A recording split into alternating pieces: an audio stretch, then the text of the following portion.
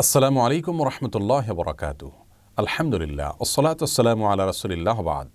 সুপ্রিয় দর্শক, শ্রোতা ভাই বোন রমাদান মাসে মা বোনদের অনেক সময় মাসিক আরম্ভ হয়ে যায়, যার কারণে তারা সলাৎ সিয়াম সহ এই সমস্ত ইবাদতগুলো তারা পালন করতে পারেন না, কারণ মাসিক অবস্থায় নামাজ পড়া, রোজা রাখা নিষিদ্ধ। তখন একজন মা বোন রমাদানের ইবাদত বন্দীগীর মাধ্যমে কীভাবে তিনি রমাদানকে সার্থক করতে পারেন, আজ আমরা সে বিষয়ে কথা বলব ইনশাআল্লাহ। এমনকি লাইলাতুল কদরে যদি কোনো মেয়ে মানুষের মাসিক থাকে। তো মাসিক অবস্থায়ও তিনি কীভাবে কদরের রাতে এবাদত গুজার বান্দাদের কাতারে সামিল হতে পারেন, আজ আমরা সে বিষয়ে কথা বলব ইনশাআল্লাহ তালা রমাদান মাসে হঠাৎ করে মাসিক আরম্ভ হয়ে গেলে অনেক মা বোন কান্নাকাটি করেন, মন খারাপ করেন, তাদের কষ্ট লাগে। এই কষ্ট লাগা ইসলাম শরীরের দৃষ্টিকোণ থেকে প্রশংসনীয়। কারণ ইমানদার ব্যক্তি ভালো কাজ করার পরিকল্পনা ছিল কিন্তু করতে পারেননি। এরকম পরিস্থিতিতে এসে তার মধ্যে কষ্ট লাগা কাজ করবে, সেটা তার ইমানদারিত্বেরই পরিচয়, বহন করে। তিরমিজি বর্ণিত হাদিসে এমনটি বলেছেন নবী সাল্লাহ সাল্লাম তিনি ইরশাদ করেছেন মানসারাত হাসানাতুহু আসা আতহু সাই আতহু ফাহুয়াল মুমিন যে ব্যক্তির ভালো কাজ তাকে আনন্দ দেয়, আর তার মন্দ কাজ হয়ে গেলে, ভুল কিছু হয়ে গেলে পরবর্তী তার কষ্ট লাগা কাজ করে। এই ব্যক্তি তো ইমানদার, এটাই তো ইমানদারিত্বের পরিচয়। আমাদের আয়েশা রাদিল্লাহ তালা আনহা, নবী করিম সাল্লাহ সাল্লামের সাথে যখন হজে ছিলেন, হঠাৎ তার মাসিক আরম্ভ হয়ে গেল। অথচ তখন হজের যে ফরজ তফ সেটি বাদ ছিল আর মাসিক অবস্থায় তফ করা যায় না, তখন তিনি কান্নাকাটি করা শুরু করলেন।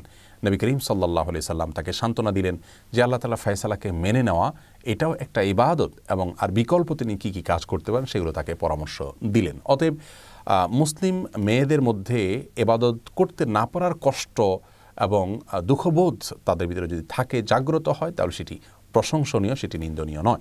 তবে সেটি যদি হাউতাসের পর্যায়ে চলে যায়, ভৎসনার পর্যায়ে চলে যায়, তাহলে কিন্তু আবার সেটি গুনাহে পর্যবসিত হতে পারে। সাধারণ দুঃখ লাগা বা কষ্ট লাগা, এটা হতেই পারে বরং ভালো। একজন ঋতুবতী নারী রমাদান মাসে ঋতু অবস্থায়ও যেভাবে তার ওই সময়টাকে তিনি সফল এবং সার্থক সময় হিসাবে কাটাতে পারেন এবং রূপান্তর করতে পারেন, তার জন্য আমরা কয়েকটি পরামর্শ দিতে চাই। প্রথম পরামর্শ হলো আল্লাহর ফায়সালা মেনে নেওয়া, এটা কিন্তু এবাদতের গুরুত্বপূর্ণ একটি পার্ট বরং মূল পার্ট বলতে পারি আমরা। এবাদতের মূল কনসেপ্টটাই হলো আল্লাহ রব্বুল আলমিনের সমস্ত আদেশ, নিষেধ, আল্লাহর সমস্ত সিদ্ধান্তগুলোকে মেনে নেওয়া। অতএব আপনাকে আল্লাহ রব্বুল আলমিন মাসিক দিয়েছেন, অসুস্থতা দিয়েছেন, শারীরিক দুর্বলতা দিয়েছেন। আল্লাহর এই ফায়সালাকে যদি আপনি হাসি মুখে বরণ করে নেন, তাহলে এটা কিন্তু একটা বড় ধরনের ইবাদত হয়ে যাচ্ছে। বিধায় সেটিকে আমাদের মাথায় রাখতে হবে। এবং সেই সাথে এও মনে রাখতে হবে যে নবী সাল্লাহ সাল্লাম ইসাদ করেছেন, কোনো ব্যক্তি যদি সুস্থ অবস্থায় কোনো ইবাদত করে থাকে, হঠাৎ তিনি অসুস্থ হয়ে যান, যেটা তার হাতে নয়, এমন কিছু সমস্যা চলে আসে, তখন সুস্থ স্বাভাবিক অবস্থায় তিনি যে ইবাদবন্দি করতেন, অসুস্থ এবং অস্বাভাবিক পরিস্থিতিতে পড়ার কারণে যে ইবাদত করতে পারছেন না, আল্লাহ তালা তাকে স্বাভাবিক অবস্থায় যে ইবাদত করতেন, সেরকম সব দান করবেন। অতএব মন খারাপ করবার মতো বিষয় নয় এবং অস্থির হয়ে ব্যাকুল হওয়ার বা ভৎসনা করার মতো বিষয় নয়, বরং সবর করতে হবে, আল্লাহর ফয়সলাকে মেনে নিতে হবে।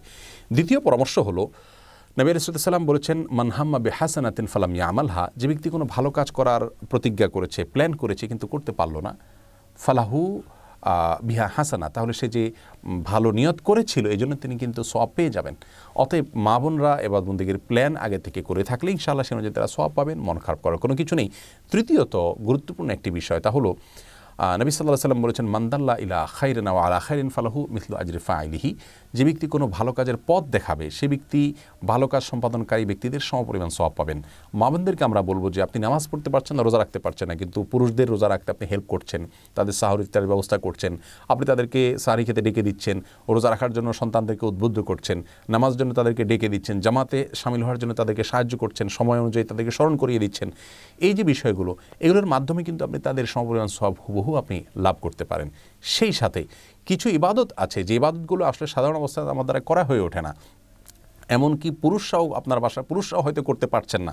সেই এবাদতগুলোকে আপনি টার্গেট করুন করে, মাসিক অবস্থা সেগুলো করুন, তাহলে পুরুষদেরকেও আপনি পিছনে ফেলে সামনে অগ্রসর হয়ে যেতে পারেন। যেমন আত্মীয় স্বজনের হক আদায় করা বিভিন্ন সময়ের যে জিকিরগুলো আছে, রাতে শোয়ার যে দোয়া আছে, জিকির আছে, সকাল সন্ধ্যার দোয়া, জিকির আছে শুক্রবার দুরুদের আমল আছে, এরকম আরও অনেক আমল আছে, যে আমলগুলো স্বাভাবিক সময় আপনি যা করেন, এই সময়টাতে, এই সুযোগে আপনার সলাদ সিয়ামের দায় নেই জিম্মাদারি নেই, সেই জায়গা থেকে আপনি আরও বেশি করে এগুলো করতে পারেন। তাহলে ইনশাল্লাহ আপনার এই মাসিকের সময়টাকে আপনি বরং আরও সফল সময় হিসাবে রূপান্তর করতে পারেন, পরিবর্তিত করতে পারেন।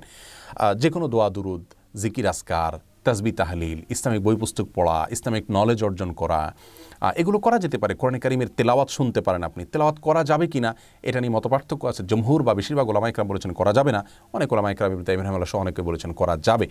তো কোরআন তেলাওয়াত আপনি না করলেও কোরআন তেলাওয়াত শুনতে পারছেন অন্যের তেলাওয়াত শুনলে সম্পরিমাণ সওয়াব পাচ্ছেন।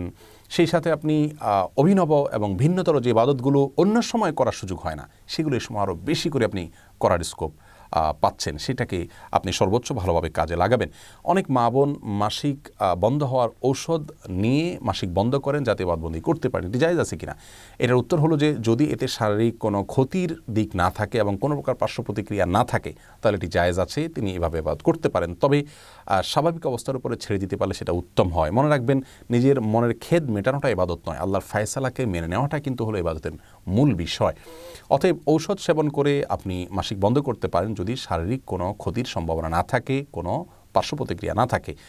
আর যদি পার্শ্ব প্রতিক্রিয়া থাকে তাহলে এমনটি করা জায়েজ হবে না। আল্লাহ তালা আমাদের সকলকে এবাদত বন্দিগিতে প্রতিযোগিতামূলকভাবে অগ্রসর হওয়ার তৌফিক দান করুন।